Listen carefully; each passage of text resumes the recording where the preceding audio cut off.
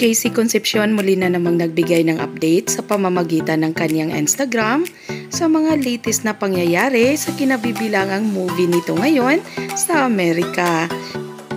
Proud na proud ngayon ang lahat ng fans ng dalagang aktres dahil na rin sa kanyang mga achievements at isa na nga rito ang pagkakaroon na ulit ng movie kung saan ay excited na ang lahat at inaabangan na ito.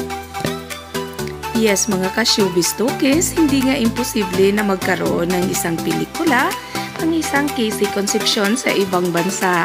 Kung hirap na hirap ang ibang mga sikat na artistang Pilipino dito sa atin na magkaroon ng pelikula sa ibang bansa, well, ibahin natin ang isang Casey Concepcion dahil napabilib sa pag-arte ng isang Casey Concepcion ang producer at direktor ng pelikula niya ngayon.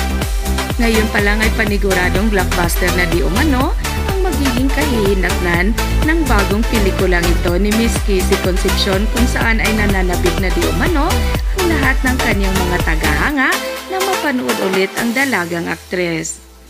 Narito ang iba pang video na ibinahagi ng dalagang aktres sa kanyang Instagram. Panoorin natin.